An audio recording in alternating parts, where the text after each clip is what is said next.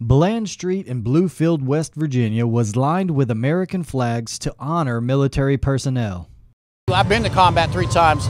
I've lost quite a few soldiers, you know, and it just means to me I'm going to give thanks back to them and remember them today.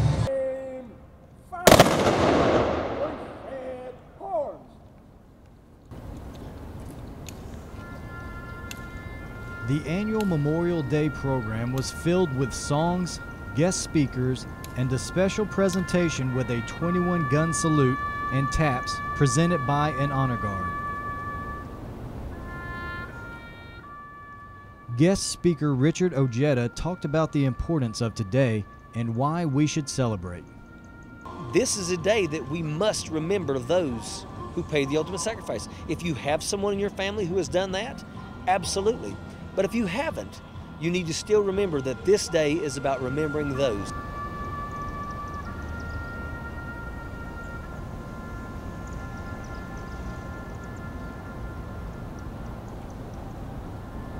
WOAY Newswatch gives a special thanks to all of our veterans who have and continue to fight for our freedoms.